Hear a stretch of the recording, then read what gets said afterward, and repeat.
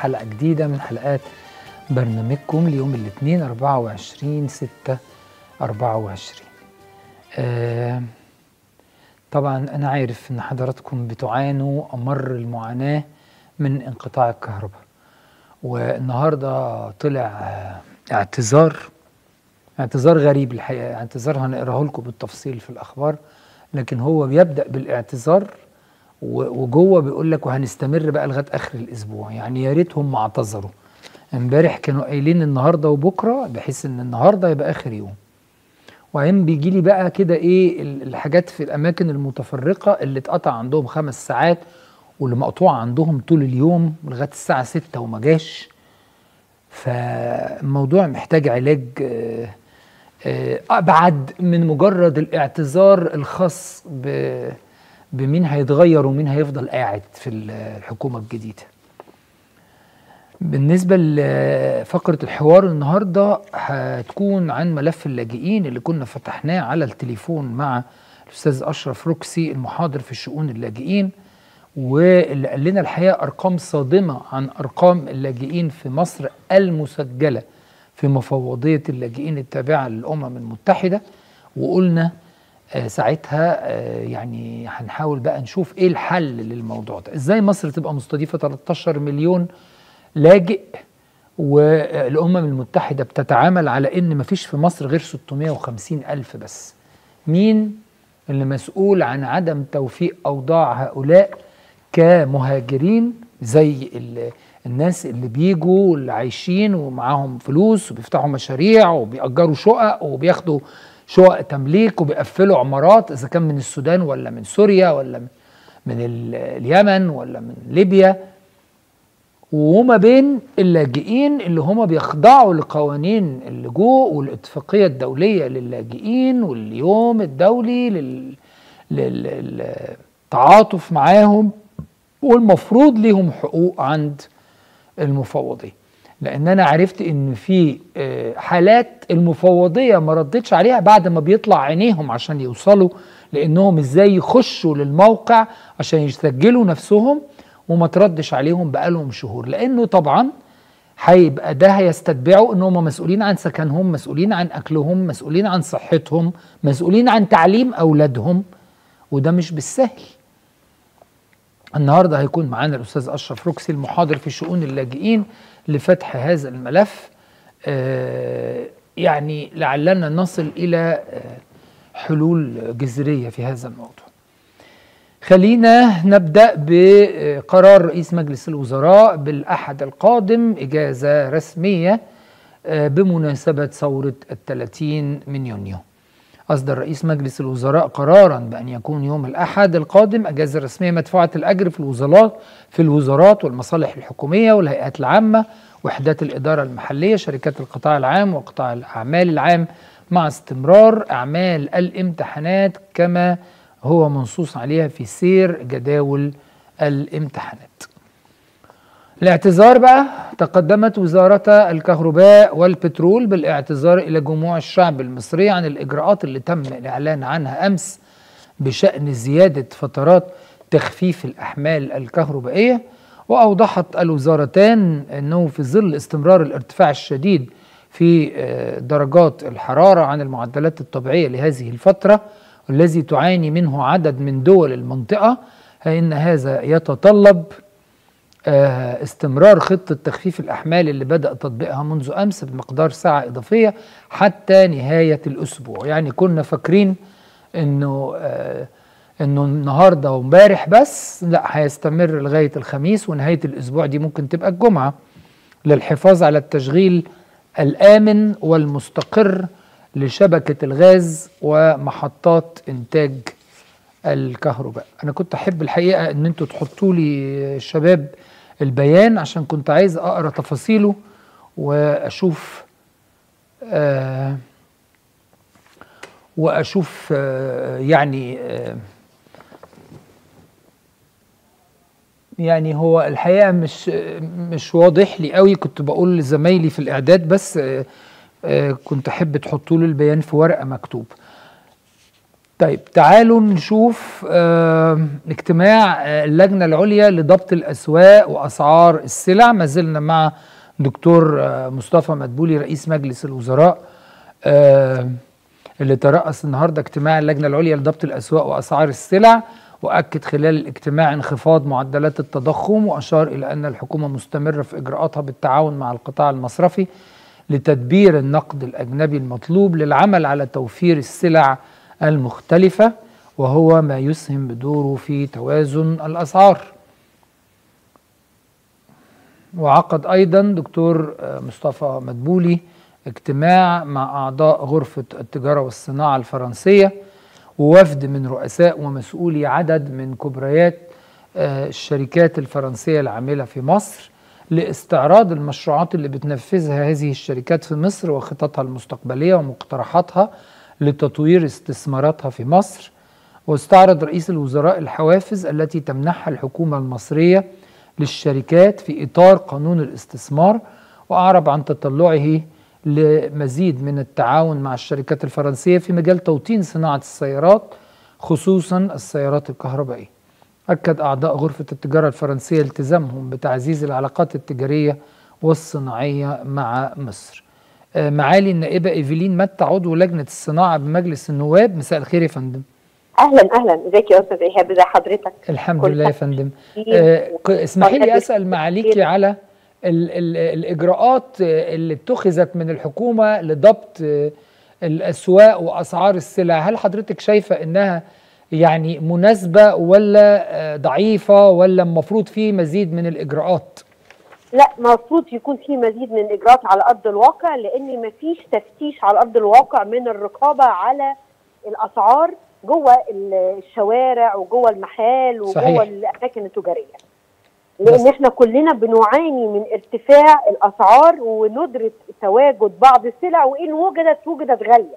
امم آه ممكن يكون فيها ثبات الفترة الأخيرة علشان خاطر كان فترة أعياد وكان اللي بيبيعوا ناس معينة قليلة وكان معظم الناس مقفلة. بعد ما فتحت الأسواق يوم السبت والحد ابتدت الأسعار تعلى تاني بشكل جنوني.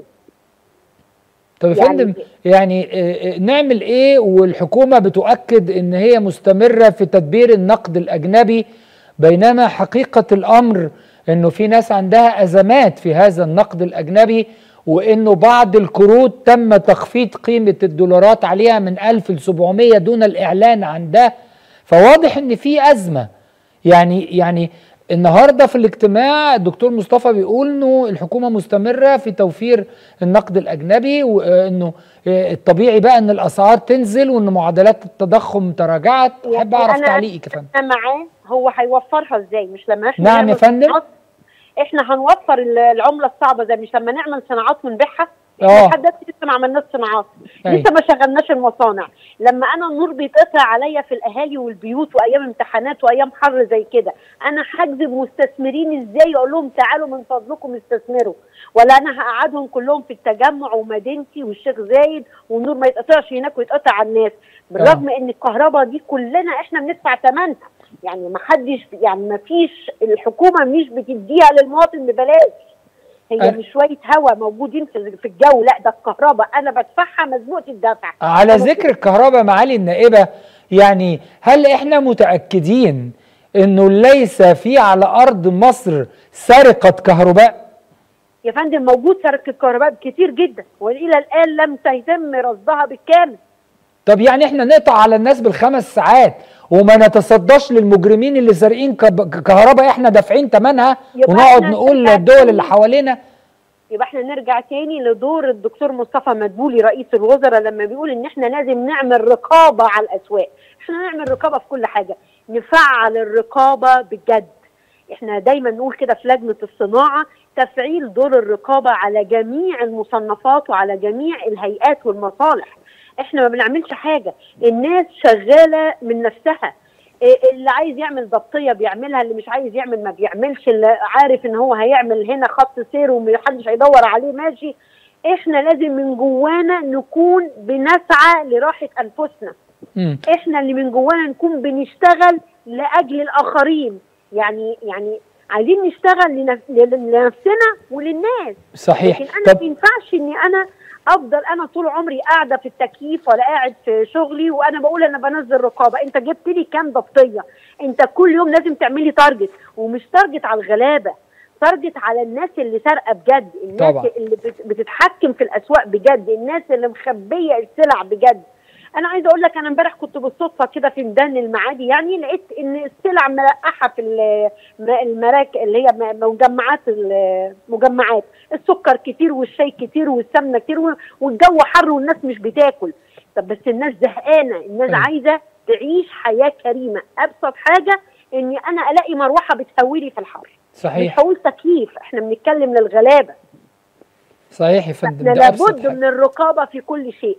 لا أيوة. يكفيني إن هو جاب رئيس الغرفة التجارية أحمد بيه الوكيل ولا وزير الصناعة ولا وزير التجارة ولا وزيره التخطيط. أنا يكفيني إني أنا أقول إحنا عندنا مشكلة يجب إن إحنا كلنا نتكاتف لحلها. الغريبة يا معالي النائبه انه إنه الناس دي بتفصل نفسها وهي قاعدة على كرسيها. الحكومي عن كونها أفراد عندها دايرة علاقات وعندها قرايب وعندها أصدقاء وعارفة المعاناة الحقيقية وعارفة حجم الفساد وعارفة حجم عدم الرقابة والتجاوز. أنا أعي جيدا إن هناك بعض من الوزراء يعلموا جيدا ما في أرض الواقع مننا. إحنا كنواب لأن إحنا بننزل أيوه. وبنصطدم بالناس وبمشاكل الناس واحتياجات الناس وغلو الأسعار وعدم تواجد الأدوية. وعدم تواجد مستلزمات العمليات وعدم وعدم تواجد النور للي عنده قرح فراش ونايم في السرير في البيت واللي بيذاكر وعايز يذاكر في مروحة مش في تكييف اللي عايز يشرب كوباية مية ساقعة بيقعد النور مقطوع واللي بيتحبس في الأسانسير كل دي مشاكل بتصب في عبء النائب خلي بالك أيوة إحنا نواب طبعا. الشعب بنقول اللي أنا ضميري بيرتاح له وبقوله أنا أيوة. ما بخبيش حاجة وبقول ده وبأعلن ده يجب أن يكون هناك دور رقابي على جميع منافذ الدولة وعلى جميع الحكومات على جميع التخصصات على الأسواق على المديريات على المراكز على المحليات. لازم كلنا ندور نشوف البيئة بشكر معاليك يا إيه. فندم. نتمنى نتمنى إن الحكومة القادمة ونفكر خارج بشكر معاليك يا فندم جدا. إيهاب. لازم نفكر خارج الصندوق. آه طبعا يا فندم. إحنا عندنا كم زباله مش عارفين نعمله. في إيطاليا عملوا.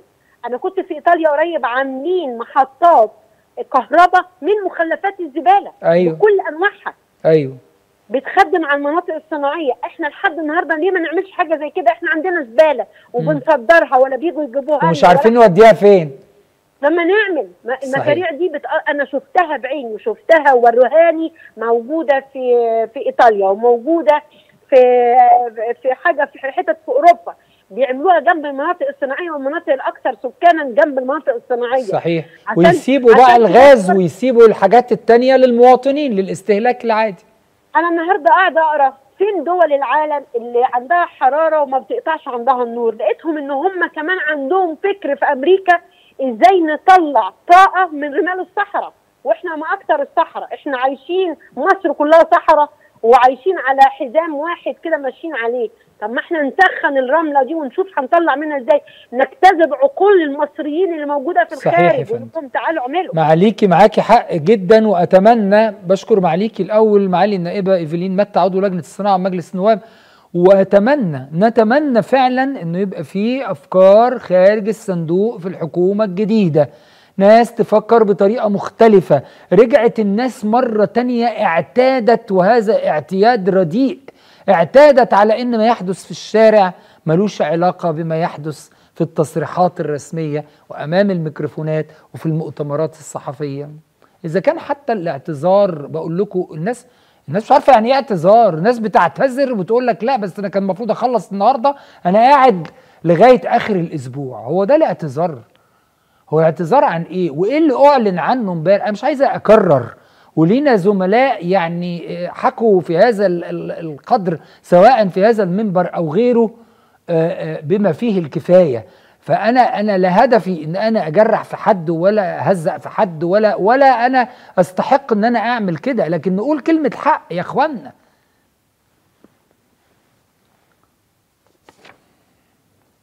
طيب نادي الزمالك أعلن في بيان رسمي عدم خوض لقاء القمة أمام الأهلي آه، في بيان نصه تؤكد إدارة نادي الزمالك أنها تعلم جيدا أن جماهير الزمالك العظيمة دوما تعشق اللحظات التي يلعب فيها فريق كرة القدم وتعلم أن المنافسة الشريفة كانت باستمرار شعارها على مدى أكثر من قرن من الزمان إلا أن ظروفا قهرية تمنعها من فعل ذلك في مباراة الدوري المقرر إقامتها غدا نظرا لغياب مبدأ تكافؤ الفرص الذي ترسيه قواعد ومبادئ كرة القدم. تتعهد الإدارة أن تعود في القريب العاجل للمنافسات القروية الشريفة في آه في دورينا الذي نجل ونحترم ونثمن مجهودات كافة الجهات التي تدعم صناعة كرة القدم في مصر.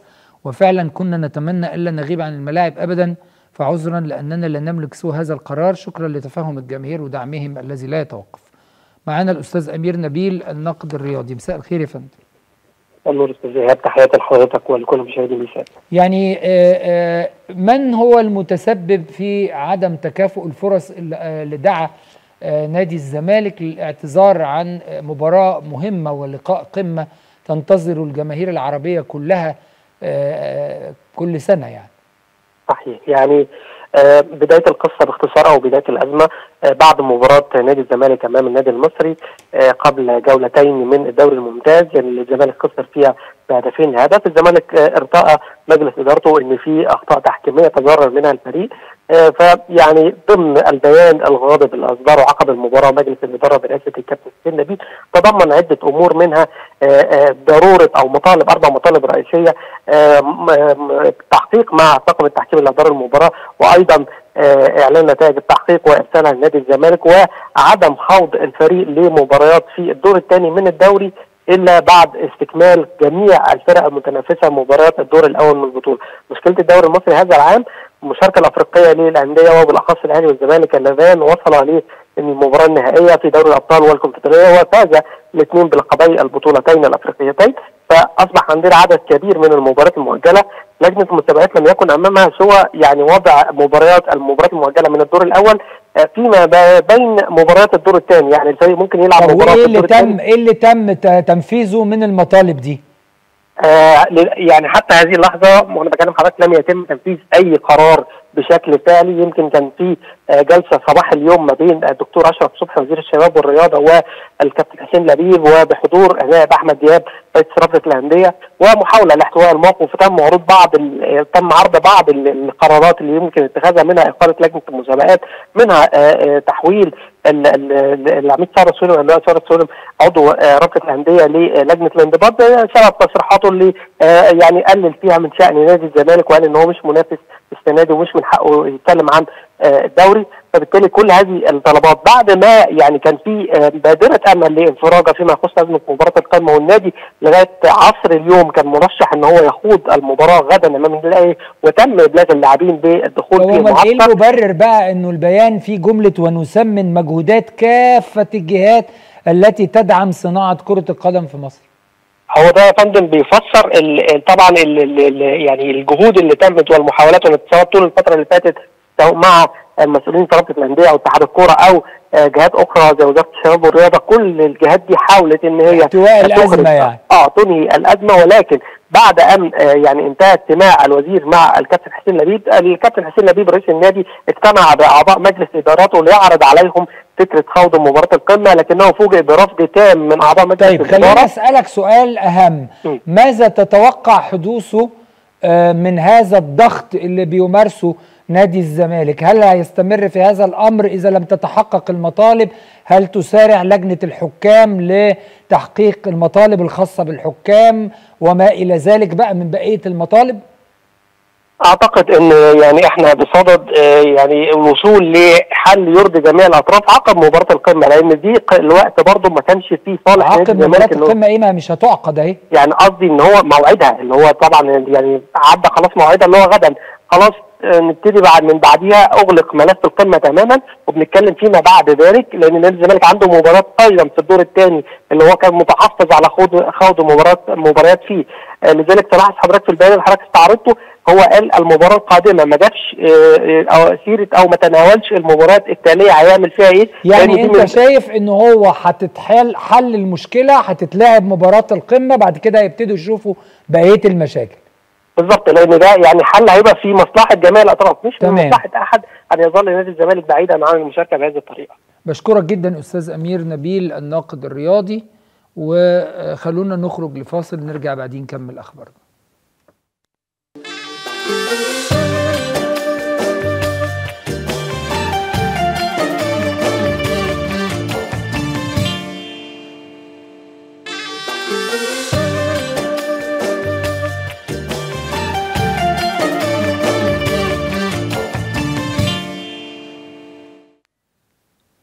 أهلا بحضراتكم معنا مرة تانية نروح للبنك الدولي اللي وافق آه، مجلس إدارته على تقديم تمويل للحكومة المصرية بقيمة 700 مليون دولار آه، في إطار برنامج تمويل سياسات التنمية تعزيز الاستقرار الاقتصادي الكلي تحقيق مسار نمو يتسق مع التحول الاخضر دعم التنافسية تحسين بيئة الأعمال ما يعمل على تمكين القطاع الخاص. وصرح وزيرة التعاون الدولي ومحافظ مصر لدى مجموعة البنك الدولي أن مصر الحكومة المصرية تتعهد بتنفيذ إصلاحات اقتصادية طموحة تهدف لخلق اقتصاد أكثر تنافسية بقيادة القطاع الخاص وهذا التحول يدعم التحول الأخضر ويعتبر برنامج تمويل سياسات التنمية أحد آليات البنك الدولي لدعم آه، الموازنة آه،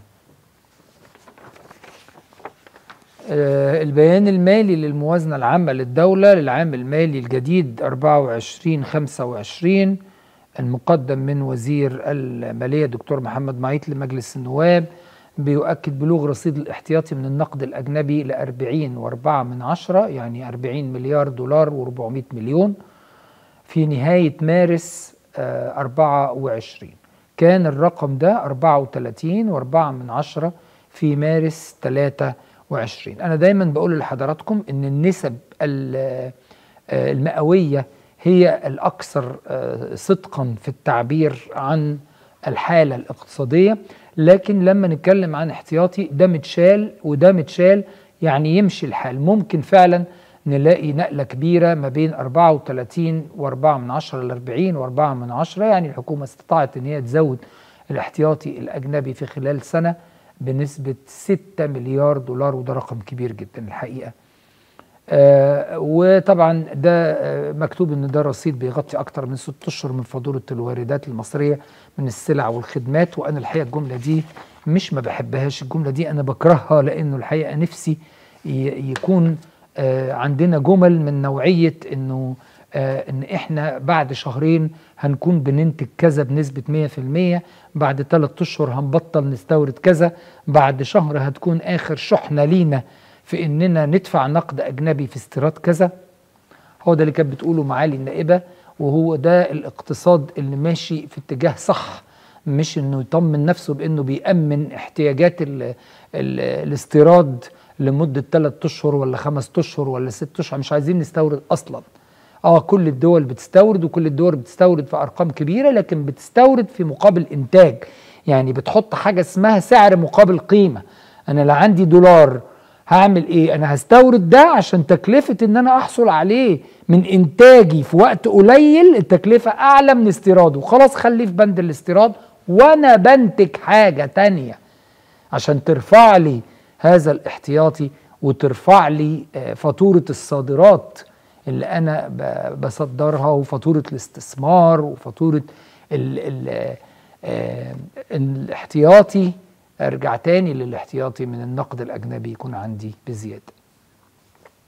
وزيرة البيئة دكتور ياسمين فؤاد بتؤكد الحرص على إيجاد طرق كفيلة لمنع قطع الأشجار وتسريع وتيرة تنفيذ مبادرة ال 100 مليون شجرة خلال افتتاح الوزيرة لفعاليات الحوار الوطني بعنوان مبادرة ال 100 مليون شجرة مسؤولية مشتركة فلنعمل جميعا للاستمرار في تحسين واستدامة بيئتنا وأشارت إلى أن هذا الحوار يهدف إلى وضع توصيات واضحة لتقنين التعامل مع الأشجار، تجريم القطع في حال عدم وجود أسباب قانونية وكيفية العمل على إيجاد إطار قانوني يضمن الحوكمة الرشيدة لتنظيم هذا العمل. المهندس حسام محرم مستشار وزير البيئة سابقا مساء الخير يا فندم مساء أستاذ إيهاب. أهلا وسهلا. إيه التوصيات ال- الخاصة بقطع الأشجار؟ ال- هل وصلنا لتوصيات في الحوار الوطني ولا كان مجرد عرض للآراء فقط؟ لا الحقيقة ال- الأخبار المتداوله عن الحوار وما دار فيه والنتائج التي تمخضت عنه الحقيقة مبشرة.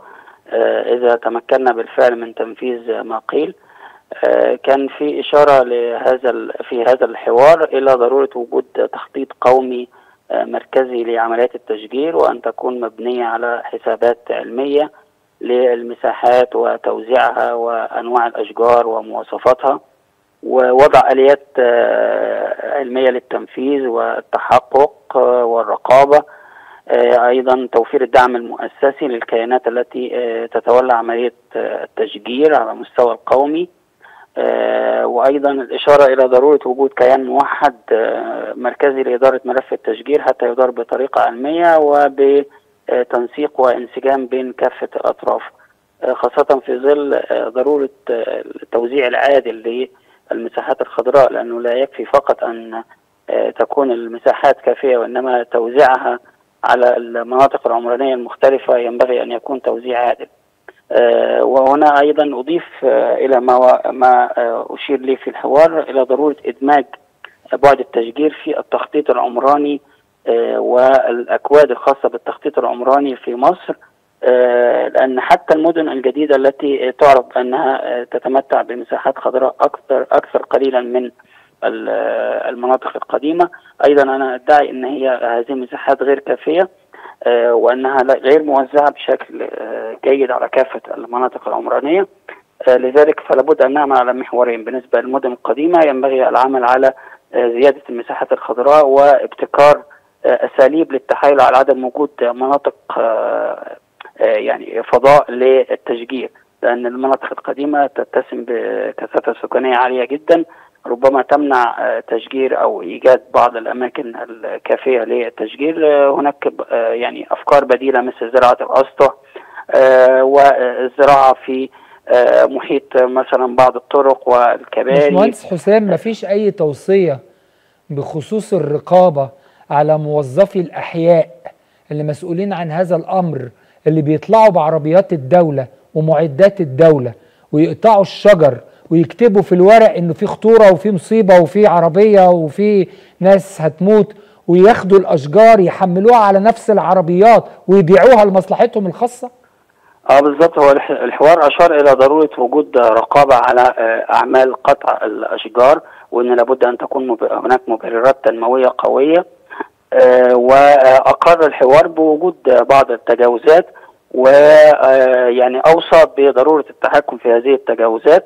وأعتقد إنه في حالة توفير ال ال يعني المتطلبات التي تحدثنا عنها في بداية المداخلة وهو وجود تخطيط قومي آه، لعمليات التشجير ووجود رقابة وعلى آليات التحقق ويعني أو وجود آليات للتحقق والرقابه على اليات التنفيذ. أعتقد إن ممكن الحد من هذه ال- التجاوزات خاصة آه، إن أشار الحوار أيضا إلى وجود قاعدة بيانات آه، متكاملة لكافة المساحات الخضراء على مستوى الدولة ومتابعتها. آه، حتى بشكرك لا تكون. هناك تجاوزات شكرا جزيلا المهندس حسام محرم مستشار وزير البيئة سابقا آه، البعثة الأثرية المصرية الإيطالية المشتركة العاملة في محيط ضريح الأغاخان آه، غرب أسوان نجحت في الكشف عن عدد من المقابر العائلية التي لم تكن معروفة من قبل والتي ترجع لعصور متأخرة ويونانية ورومانية آه، كما صرح الأمين العام للمجلس الأعلى للآثار دكتور محمد إسماعيل خالد وأكد أهمية هذا الكشف حيث أنه يضيف تاريخا جديدا وأن بعض هذه المقابر المكتشفة لا تزال تحتفظ بداخلها آه، بأجزاء من مومياوات وبقايا أدوات جنائزية.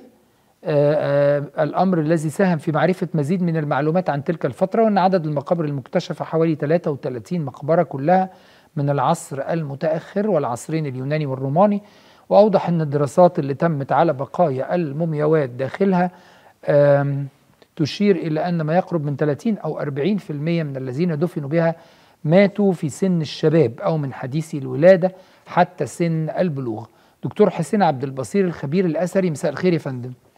خير يا بيه إزاي صحة سعادتك يا فندم؟ الحمد لله يا فندم. دكتور حسين يعني يعني هل من الممكن أن تكون هناك مقابر خاصة بالأطفال والشباب فقط ولا إيه سبب النتائج البحثية دي؟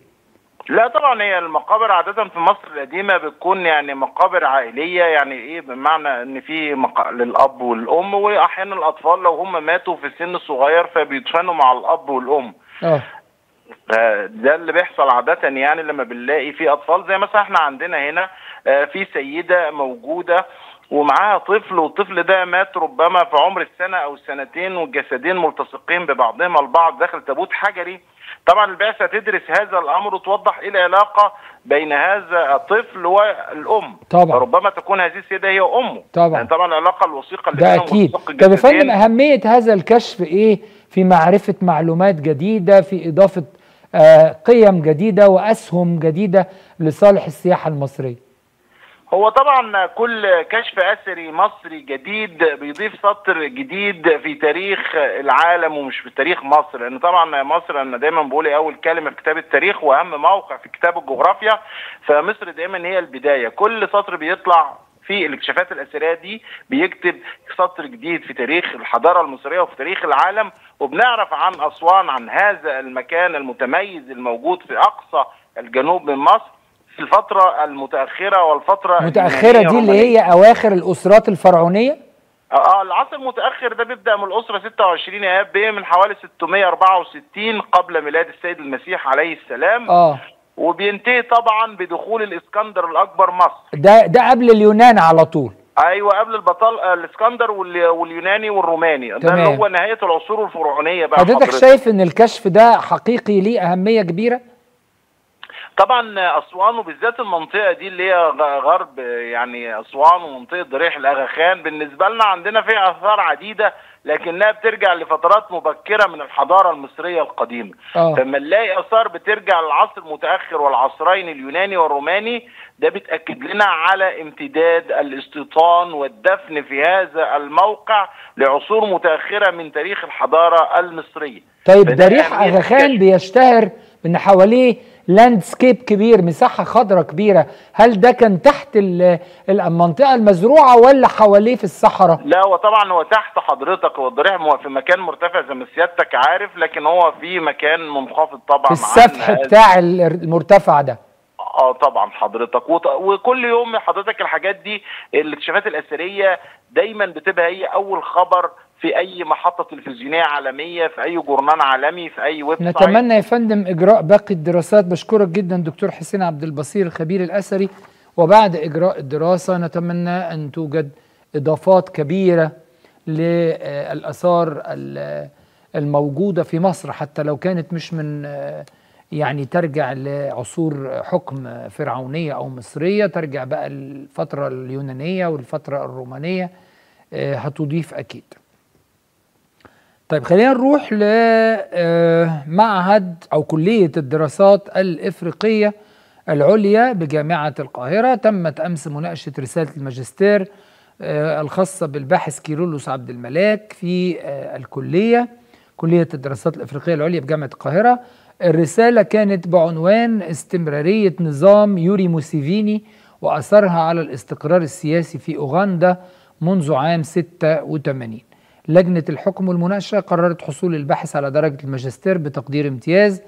الرسالة آه، تتمثل أهميتها في التفرقة بين استمرار النظام السياسي وتحقيق الاستقرار السياسي وتتمثل أهميتها كمان خصوصا في إبراز الآليات اللي اعتمد عليها نظام موسيفيني في أوغندا للبقاء في الحكم. آه، الباحث كيرلس عبد الملاك الباحث بكلية الدراسات الإفريقية العليا بجامعة القاهرة مساء الخير. مساء النور يا دكتور يا أستاذ ايهاب ازي حضرتك؟ مبروك. الله يبارك في حضرتك شكرا جزيلا. يعني آه، الرسالة كده يبدو إنها إيه موضوع بقى نظام يوري موسيفيني دوت وإيه العلاقة ما بين استمرار نظام الحكم وما بين الاستقرار السياسي. يعني زي ما مكتوب في الخبر إن دي من أهم آه، ال- الحاجات اللي طلعت بيها من الرسالة يعني. تمام. آه بداية طبعا بشكر قناة ميسات وكل القائمين عليها بداية من الأنبا إرميا الأسقف العام ورئيس مركز الثقافة القبطي لأن هم اهتموا طبعا بإرسال كاميرا خاصة ويعني متابعة فعاليات المناقشة. ثانيا فيما يتعلق بالعلاقة ما بين آه، مفهوم الاستقرار السياسي ومفهوم آه، استمرارية النظام السياسي طبعا في اختلاف آه، كبير جدا ما بين المصطلحين. للأسف هو في خلط يعني شائع ما بين آه، عامة الناس بين الاستقرار السياسي واستمرارية النظام السياسي ما هو طبعا عشان ده بتعمل عليه الأنظمة عشان تبين إن النظام ده أحسن نظام فجايب. استقرار صحيح فطبعا ده يعني إحنا أثبتنا عكسه يعني في أو إن هو مش دقيق مم. كلام مش دقيق مفهوم النظام السياسي بيتعلق بالمنظومة الإدارية للدولة ولو المنظومة دي فيها أي خلل ممكن آه، هذه المنظومة تؤدي إلى عدم الاستقرار. وطبعا من من مؤشرات عدم الاستقرار الاحتجاجات الشعبية التغييرات الحكومية ال- يعني المتطرفة. أو حتى عدم وجود. آه، يعني تغييرات حكومية في مبررة يعني في بعض الأحيان آه، برضو في الإرهاب برضو ممكن يؤثر أو يبقى مؤشر يعني لعدم الاستقرار آه،. طبعا اتفضل. بشكرك يا كيرلس وببارك لك مرة تانية. ألف مبروك عقبال الدكتوراه. وبرضه كاميرا ميسات ترصد معاك النجاح الباهر ده. أنت متعين في في الكلية؟ آه، لا طبعا لا مش متعين لكن طبعا بشرف طبعا بوجودي كباحث في لكن أنت بتشتغل فين؟ يعني في جهة ليها علاقة بالفحوى ده؟ لا حاليا مفيش آه، يعني أنا باحث قانوني طبعا جنب وزائد إن أنا بكتب في الأهرام ويكلي من حين لآخر في الصحافة. آه. فبجمع ما بين العمل البحثي والعمل الصحفي أحيانا. والاثنين فيهم عمل سياسي. بالتأكيد طبعا. بشكرك جدا وألف مبروك مرة تانية. كيرلس عبد الملاك الباحث بكليه الدراسات الإفريقية العليا بجامعة القاهرة. ألف مبروك. ويعني زي ما بيقول بولس الرسول ليس آه، يعني أفضل عندي إن أنا أسمع عن أولادي إن هم ناجحين وطبعا النجاح الروحي والنجاح العلمي والنجاح في كل مناحي الحياة الحقيقة. مصر تقدمت بخالص التعزي للمملكة الأردنية الهاشمية الشقيقة حكومة وشعبا في ضحايا الحادث اللي تعرضت له شاحنة شاحنات عسكرية ضمن قافلة مساعدات إغاثية وإنسانية متجهة لقطاع غزة. الحادث كان وقع لثلاث شاحنات عسكرية امبارح الظهر آه، ضمن قافلة آه، مساعدات. نتيجة انحراف الشاحنات عن آه، مسارها إحنا طبعا بنعزي آه، آه، كل أسرة ليها ضحية وبنتمنى الشفاء العاجل لكل مصاب وبنتمنى إن ربنا هو اللي يعوض كل إنسان فعلا بيمد إيده في هذه الشاحنات لمساعدة أي إنسان على وجه الأرض يحتاج إلى لقمة نظيفة يحتاج إلى مية نظيفة يحتاج إلى كوب من اللبن طفل يحتاج إلى كوب من اللبن. موضوع المساعدات ده موضوع كبير جدا الحقيقة يعني يمكن نتعرض لجزء من ده في الحديث عن اللاجئين في آه، حوارنا النهارده. وزير الأشغال العامة والنقل في لبنان آه علي حمية آه أكد أنه هيتخذ إجراءات قانونية بحق صحيفة التليجراف البريطانية بعد ما قررت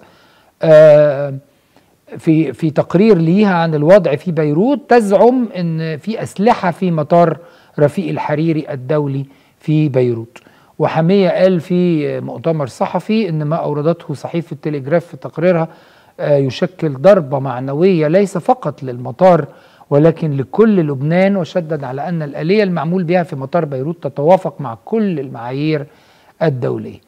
آه، الأستاذ العزب الطيب الطاهر الصحفي بالأهرام والمتخصص في الشؤون العربية. مساء الخير يا فندم. أهلا بيك. مساء الخير. يعني حضرتك بتشوف إنه آه، إيه اللي دعا آه، صحيفة التليجراف البريطانية لهذا التقرير اللي بيقر شيء خطير دون التأكد من مصداقية كلامها؟ هل ده يعني هل ده مجرد نقص في المعلومات؟ هل هو تعمد؟ هل هو تدخل إخواني هل إيه إيه في رأي حضرتك يعني؟ رغم إن هذه الصحيفة يعني من القرن آه، آه، 19 منشأة في في لندن ولها باع طويل في التغطيات الصحفية المتميزة سواء في الحرب العالمية الثانية في الأحداث الأخرى في كافة الأحداث.